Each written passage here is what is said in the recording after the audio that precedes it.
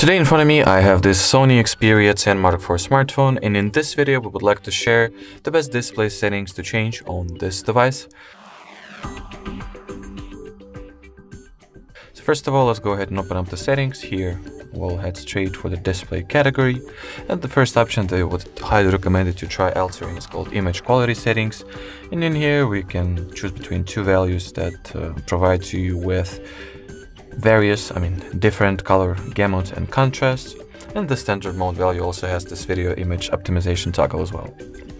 The next option that we would like to show you in this video is located right below the last one and called white balance. As you could guess, it allows you to, well, configure and adjust the white balance uh, and as well as uh, separately adjust the red, green and blue color palettes, as you can see. So we have warm, medium, cool and custom presets. And in custom you're able to regulate each color of the RGB palette individually, just like so.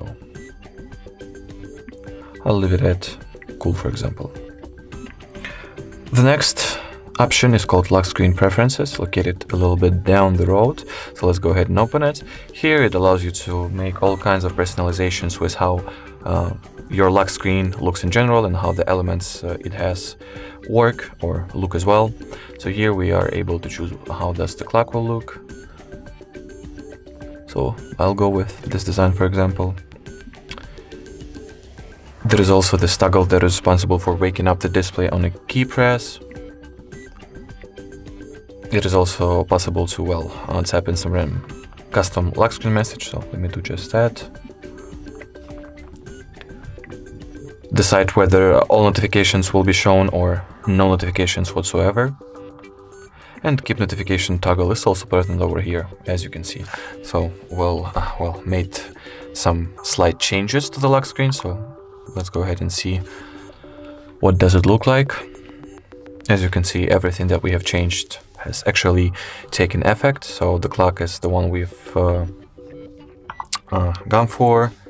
The custom sign is right here at the bottom part of our display and notification content is shown as well. Alrighty, and let's go ahead and move on to the last option that we were to show you in this video. So for it, you gotta scroll almost all the way down and it's called the night light. So once enabled, as you can see, it makes all the colors significantly warmer and the interface color palette in general, which makes it so using the display of your device gets significantly easier. So here we have the bar that allows us to regulate the warmness intensity so we can go from cool colors all the way up to warm or set up some custom schedule for it to be automatically turned on and turned off, just like so.